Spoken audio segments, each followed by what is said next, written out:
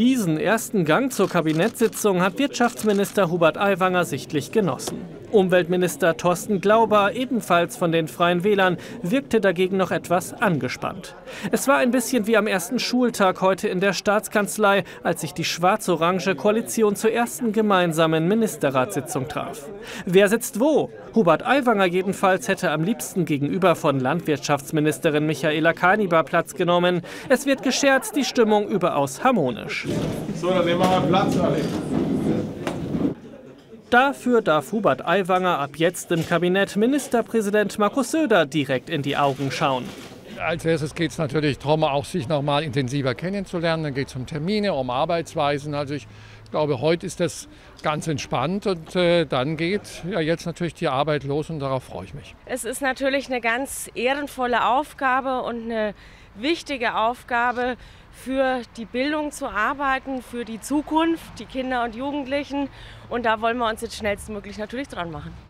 Das Kultusministerium ist eines von drei Ministerien, das die CSU an die Freien Wähler abgeben musste. Kultusminister Michael Piazzolo will vor allem 5000 neue Lehrer in dieser Legislaturperiode einstellen. Das ist einer der ersten Schritte, äh, der sicherlich getan werden muss, aber das muss auch im Haushalt hinterlegt werden. Wir alle haben immer wieder gesagt, wir bräuchten eigentlich eine 10-prozentige Reserve, um wirklich Unterrichtsausfall deutlich zu reduzieren, weil es gibt eigentlich nichts Frustrierenderes, als wenn Unterricht ausfällt. Das motiviert nicht gerade zum Lernen, das ist nicht motivierend für die Lehrkräfte, die meistens irgendwie einspringen müssen. Da braucht man eine deutliche Reserve. Aber ich bin überzeugt, mit dem Ansatz, mit den Lehrstellen, die in der Koalitionsvereinbarung jetzt genannt sind, mit der Anzahl wird man der Herausforderung nicht gerecht.